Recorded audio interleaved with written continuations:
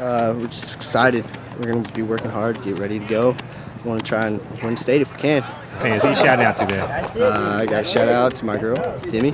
Uh, that's all I can say. Yeah, appreciate that.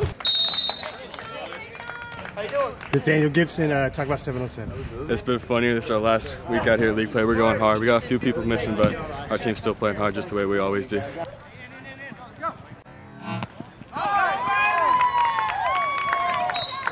Hey, Wes Lambert finally getting on, on camera. Uh, what are your thoughts about 707? Uh, I mean, we're just doing our best out here, trying to get things accomplished. We're already in the state tournament, and then just got to give all props to the team. All right, good luck on Division One, uh, July 11th. We're going to be wishing Wimberley good luck. Who you shouting out to, Wes? Oh, my brother, Brady Lambert.